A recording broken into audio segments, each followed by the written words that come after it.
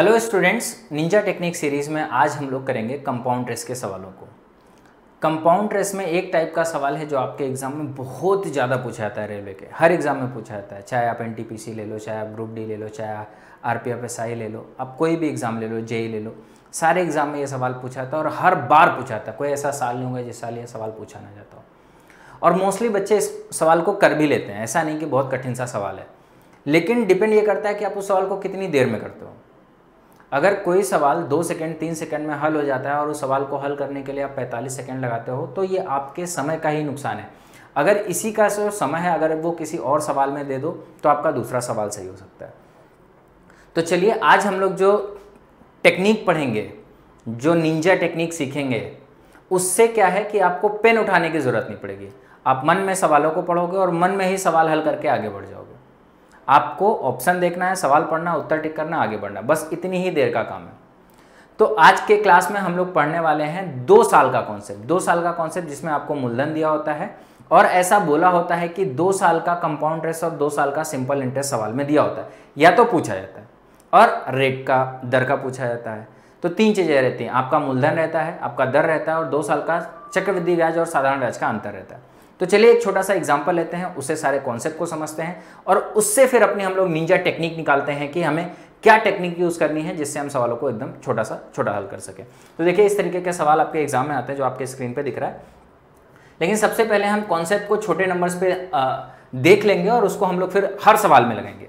छोटे छोटे डेटा पे हम लोग सीख लेते हैं कि क्या कॉन्सेप्ट है और फिर हर सवालों में हम उसको लगाएँगे। भाई, बहुत ही सिंपल सी बात है। सब लोगों ने कंपाउंड इंटरेस्ट और सिंपल इंटरेस्ट पढ़ रखा होगा। मैं मान के चलता हूँ कि थोड़ा बहुत बेसिक सभी का क्लियर होगा। एक सिंपल सी बात अगर मैं करूँ कि जैसे मान लो मेरा हज़ार रुपये मेरे पास में है और जो रेट ऑफ़ इंटरेस्ट है, वो दस परसेंट है। सिंपल सा, बहुत सिंपल सा एग्ज़ाम्पल अब मैं इसको दो तरीके से लेता हूँ। मैंने क्या बोला कि हम लोग को दो साल का कंपाउंड इंटरेस्ट और दो साल का सिंपल इंटरेस्ट और इसका अंतर निकालना बस यही चीज़ें निकालनी आपको मूलधन दिया जाएगा आपको दर दिया जाएगा और आपको दो साल कंपाउंड इंटरेस्ट सिंपल इंटरेस्ट का अंतर पूछा जाएगा। मतलब इन तीनों में से आपको एक, दो चीज़ दी जाएगी और एक चीज़ पूछी जाएगी। तो हमें इन्हीं तीनों चीज़ों को आपस में रिलेट करके पढ़ना है। जैसे, अगर मैं मान लेता हूँ कि जैसे मेरा हज़ार रुपये मूलधन है, अगर मैं सिंपल इंटरेस्ट की बात करूँ तो 10 परसेंट से अगर मैं पहले साल की बात करूँ तो मुझे कितना रुपए मिलेगा? सौ रुपये मिलेगा। फिर अगले साल में 10 परसेंट पर मुझे कितना मिलेगा? सौ रुपये ये हमारा किससे हो गया? सिंपल इंटरेस्ट हो गया। ये हमारा टोटल दो साल का हो गया। अगर हम लोग कंपाउंड इंटरेस्ट की बात करेंगे तो जो हमारा प्रिंसिपल है, वो अभी भी यही है। पहले साल की बात करेंगे तो पहले साल हमारे ब्याज में कोई परिवर्तन नहीं होता। चाहे आप चक्रवृद्धि ब्याज से निकालो, चाहे आप साधारण ब्याज से निकालो। तो यहाँ पे भी जो आपको ब्याज मिलेगा, कितना मिलेगा? सौ रुपये ही मिलेगा। लेकिन अगर हम दूसरे साल की बात करें तो हमें क्या है कि यहाँ पे जो मूलधन पे ब्याज मिलता है, भाई, मूलधन का जो दस परसेंट मिलता है, वो तो मिलेगा ही मिलेगा। चक्रवृद्धि ब्याज का कॉन्सेप्ट क्या होता है कि हमें जो ब्याज मिल चुका है, पीछे हमें जितना भी ब्याज मिल चुका है, उस ब्याज पे भी ब्याज मिलता है। तो हमें पीछे की बात करें तो हमें कितना ब्याज मिल चुका है, इतना ब्याज मिल चुका है। तो हमें इस पर भी ब्याज मिलेगा मतलब इसका भी दस परसेंट मिलेगा। और इसका दस परसेंट कितना हो जाएगा? इतना हो जाएगा, ये हमें मिलेगा। तो अगर हम इस सवाल की बात करें तो इस सवाल में अगर हमसे पूछा जाए कि अगर ये मूलधन है, ये दर है और दो साल का कंपाउंड इंटरेस्ट और दो साल के सिंपल इंटरेस्ट के अंतर की बात करें तो हमारा ये दस रुपये आ जाएगा। लेकिन क्या हर सवाल में हम लोग को इतना कैलकुलेशन करने की ज़रूरत होनी चाहिए? भाई, इतना तो कैलकुलेशन नहीं करना है ना, आपका समय का नुकसान होगा। हम लोग निंजा टेक्निक सीरीज़ में पढ़ रहे हैं। तो हमारा जो टेक्निक होगा, बहुत ही छोटा होगा। हमें इसी को इस तरीके से समझना है कि हमारा कैलकुलेशन बहुत छोटा हो जाए। हम जल्दी से अप्रोच लगा सकें। तो अगर जैसे मैं इस नंबर की बात करूँ, ये हमारा आया कैसे? जैसे ये हमारा क्या है? प्रिंसिपल है। ये हमारा क्या है? प्रिंसिपल है। ये हमारा क्या है? रेट है। तो यहाँ से यहाँ पहुँचने के लिए हम लोगों ने क्या किया है? पहले इसका आर परसेंट निकाला है मतलब पी का आर परसेंट हम लोगों ने निकाला है। भाई यही तो है, मूलधन का दर निकाला है, मूलधन का दस परसेंट ये हमारा आ गया, मूलधन का आर परसेंट ये हमारा आ जाएगा, यहाँ पे पहुँच जाएँगे। फिर हम लोगों ने क्या किया कि इसका दस परसेंट निकाला मतलब जो भी रेट होगा, ये हमारा इंटरेस्ट मिल गया और इंटरेस्ट का फिर हम लोगों ने आर परसेंट निकाला है। तो ये हमारा क्या आ गया इंटरेस्ट और इसी का हम लोगों ने क्या निकाला है? आर परसेंट निकाला है। तो ये हमारा किसके बराबर आ जाएगा? दो साल का कंपाउंड इंटरेस्ट और दो साल का सिंपल इंटरेस्ट के अंतर के बराबर, इसको मैंने डी से लिख दिया। तो अगर मैं इसकी बात करता हूँ तो आपको ध्यान से समझना है कि प्रिंसिपल है। अगर मैं दो बार रेट ऑफ़ इंटरेस्ट से गुणा कर दे रहा हूँ, दो बार रेट ऑफ़ इंटरेस्ट से गुणा कर दे रहा हूँ तो मुझे क्या मिल जा रहा है? दो साल के चक्रवृद्धि ब्याज और साधारण ब्याज का अंतर मिल जा रहा है। ये आपका पहला। अगर आपसे क्या पूछा जाएगा? ये दोनों चीज़ें दी रखी हैं और आपसे क्या पूछा जा रहा है? डी पूछा जा रहा है। दूसरा मान लो आपसे क्या आपको क्या दिया हुआ है? आपको अंतर दिया हुआ है।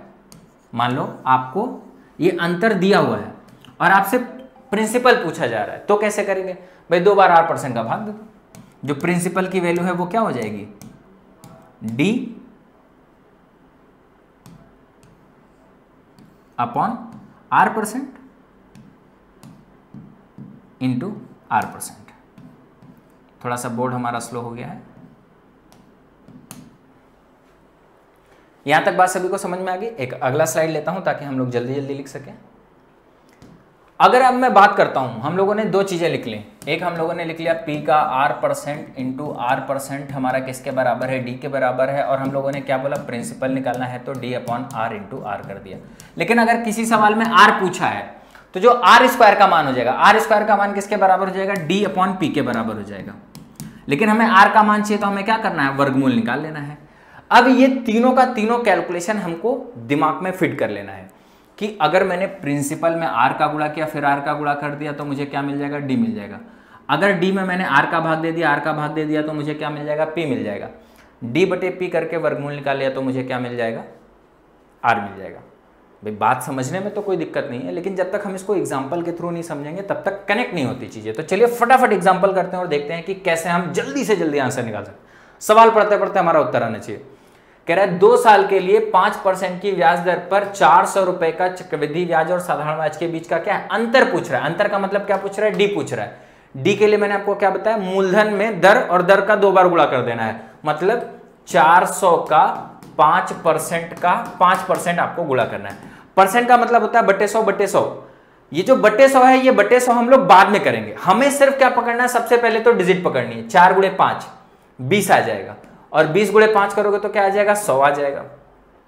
अगर हम डिजिट की बात करें तो हमें डिजिट में क्या मिलेगा? एक मिलेगा। तो ऑप्शन में देखो, यहाँ पे चार, यहाँ पे तीन, नहीं। अब एक, यहाँ पे भी एक मिल रहा है और यहाँ पे भी एक मिल रहा है। भाई, ये पहले किसी ने हमारा आंसर टिक कर दिया, इसको हटा दो।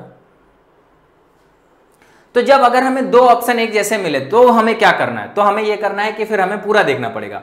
अब जैसे हमें इसको लिखना पड़ेगा 400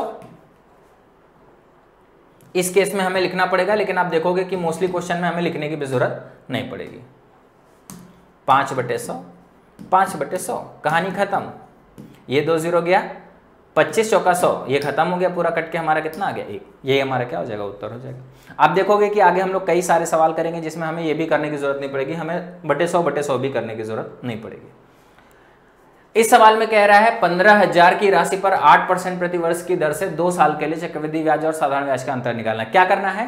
पंद्रह गुड़े आठ, कितना हो गया? पंद्रह अट्ठे एक सौ बीस। और फिर में क्या करना है? आठ का गुड़ा करना है। बारह अट्ठे कितना हो गया? छानवे डिजिट देख लो। छानवे अगर देखोगे तो सिर्फ़ एक ही डिजिट में। हमने ज़ीरो मैच कराया नहीं मैच कराया अगर नौ सौ साठ, नौ दशमलव होता तो फिर हम लोग ज़ीरो मैच करा लेते। चाहे तो आप लिख लो, लेकिन आप कैलकुलेशन सिर्फ़ इतना कर दो। ऐसा करने से आपको क्या है कि आप मन में कर सकते हो। पंद्रह अट्ठे बीस पंद्रह अट्ठे एक सौ बीस और बारह अट्ठे छानवे एक बार में छानवे दिख गया। सीधे सीधे आंसर टिक के आगे बढ़ गए। और सवाल करते हैं। चलो भाई, पेन, पेपर रख देते कह रहे दो परसेंट दो सौ पर दो वर्षों के लिए दस परसेंट वार्षिक ब्याज की दर से साधारण ब्याज क्या होगा? भाई, दस का गुड़ा करने का मतलब एक का। अगर एक का गुड़ा बार बार करेंगे तो कोई फ़र्क पड़ेगा? डिजिट पे नहीं। अगर यहाँ पे दो डिजिट है तो क्या करोगे? दो बार दस का गुड़ा करोगे डिजिट पे कोई फ़र्क नहीं पड़ेगा। अंत में मुझे क्या दिखना चाहिए? दो दिखना चाहिए। आंसर आपका क्या है? सी आ गया भाई, दो गुड़े एक गुड़े एक, दो आ जाएगा। कहानी खत्म। C answer. और आगे बढ़ते हैं। कह रहे चार हज़ार के मूलधन पर बीस परसेंट की वार्षिक दर से दो साल का साधारण ब्याज क्या होगा? चार दुना आठ या दो दुना चार और चार चौको कितना आ जाएगा? सोलह। सोलह हमारा आंसर जहाँ पे भी सोलह दिख जाए, वही हमारा आंसर आप बताओ, ये कैलकुलेशन करने में कितना समय लगेगा? एक सेकेंड दो सेकेंड इवन तो सवाल पढ़ते पढ़ते कैलकुलेशन हो जाएगा। और आगे बढ़ते हैं। कह रहा है, रुपए दस हज़ार की दो राशियों में से प्रत्येक राशि दो वर्ष के लिए निवेश की गई, पाँच परसेंट साधारण ब्याज की दर पर, पहला।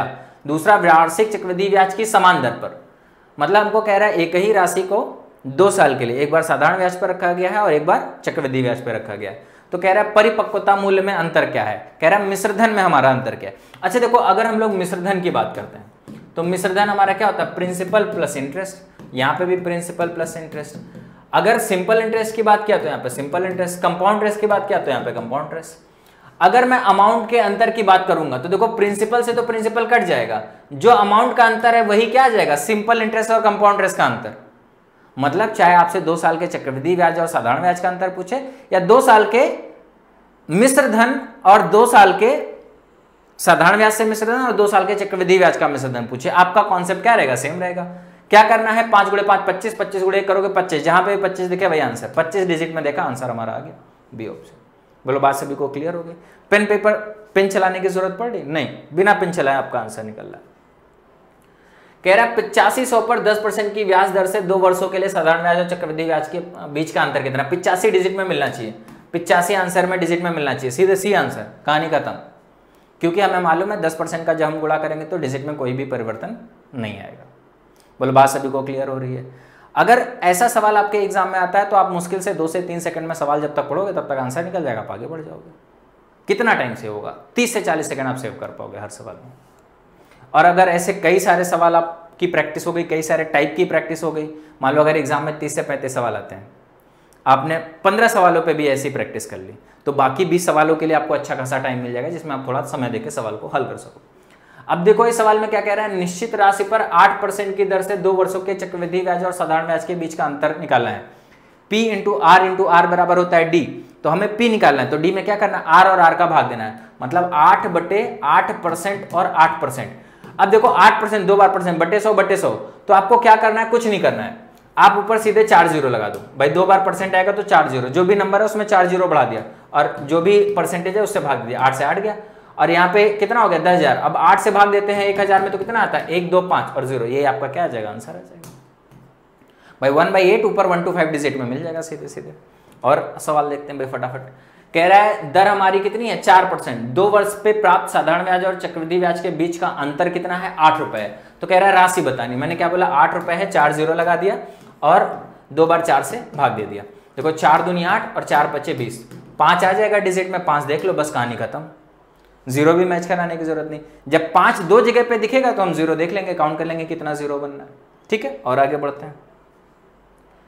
कह रहा है, किसी राशि पर पाँच परसेंट की ब्याज दर से दो वर्ष के लिए चक्रवृद्धि ब्याज और साधारण ब्याज के बीच का अंतर दो है। तो कह रहा है, राशि बतानी मूल राशि बतानी चार ज़ीरो लगा दिया। और बटे में क्या है? पाँच गुड़े पाँच कर दिया। पाँच चौक बीस, पाँच अठे चालीस, आठ। डिजिट में आठ सिर्फ़ मिलना चाहिए। Answer C. टाइम वेस्ट करने की ज़रूरत ही नहीं है। इवन तो आप मन में भी भाग दे दो दो है, पाँच से भाग देंगे, चार बार जाएगा, चार में पाँच से भाग देंगे, आठ बार जाएगा। भाई ज़ीरो तो ऑटोमेटिक बढ़ता जाएगा ना, पाँचों को बीस, पाँच अठे चालीस कहानी खत्म, आठ आ जाएगा। और आगे बढ़ते हैं। कह रहा है, किसी निश्चित राशि पर दो वर्ष के लिए पंद्रह प्रतिशत सामान्य वार्षिक और चक्रवृद्धि ब्याज के बीच का अंतर एक सौ रुपए है। तो कह रहा है, निश्चित राशि ज्ञात करो। एक सौ अस्सी है, एक, दो, तीन, चार ज़ीरो लगा दिया, पंद्रह गुड़े पंद्रह कर दिया। बार बार जो मैं चार ज़ीरो लगा रहा हूँ, अगर आप नहीं भी लगाओगे और डिजिट मैच कराओगे तो भी आपको कोई दिक्कत नहीं। पंद्रह से भाग दिया, बारह बार जाएगा। पंद्रह से भाग दे दिया, कितनी बार जाएगा? पंद्रह अट्ठे एक सौ बीस। आठ बार जाएगा तो फिर से आठ आ जाएगा डिजिट में, सी आंसर, आपका आंसर आ जाएगा। देख रहे हो? और आप देख रहे हो कि हर, जो भी सवाल हम लोगों ने लिया है, किसी न किसी एग्ज़ाम में आए चाहे आपका ग्रुप डी में आया, चाहे आपका एनटीपीसी में आया, चाहे आपका जे में आया। पीछे वीडियो करके देख सकते हो, सारे सवाल की डेट मैंने लिख रखी है।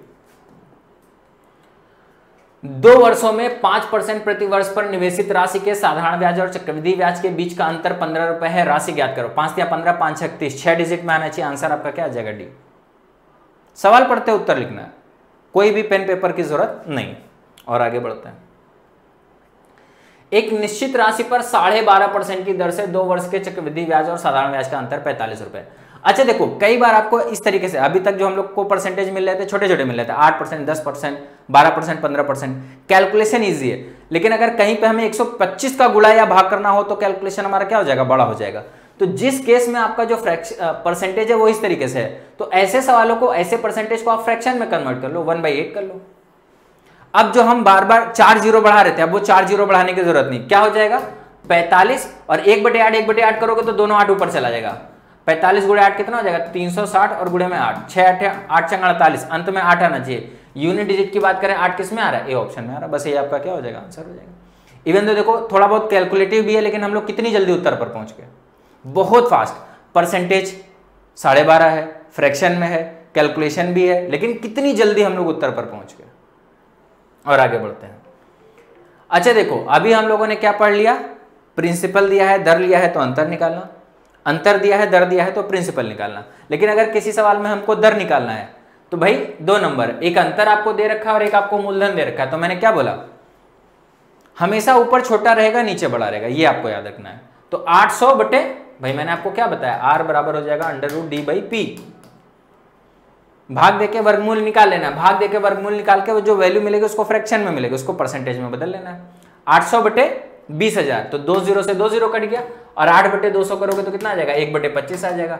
और एक बटे पच्चीस का वर्ग मूल्य लोगे कितना आ जाएगा? एक बटे पाँच। और एक बटे पाँच को परसेंटेज में बदल लोगे तो कितना आ जाएगा? Twenty percent.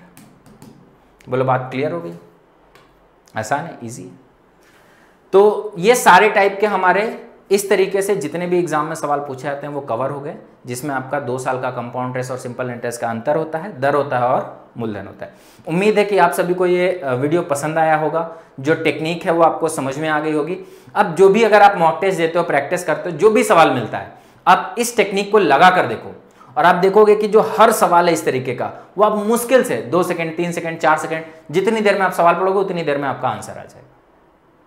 तो जाने से पहले सभी लोग से बस एक ही रिक्वेस्ट है कि इस वीडियो को जितना ज़्यादा से ज़्यादा हो सके उतना ज़्यादा शेयर करें। ये जो हमारी निंजा टेक्निक सीरीज़ है, इसको आप लोग जितना प्यार दे सकते हैं उतना प्यार दीजिए और इस निंजा टेक्निक सीरीज़ को इतनी ऊंचाइयों पर ले जाइए, इतनी ऊंचाइयों पर ले जाइए कि जब कोई दो आदमी सवाल लगा रहे हो और एक आदमी अगर सवाल लगाते समय फंस जाए तो दूसरा आदमी उसको ये बोले, अरे निंजा टेक्निक लगाओ ना निंजा टेक्निक लगाओ ना।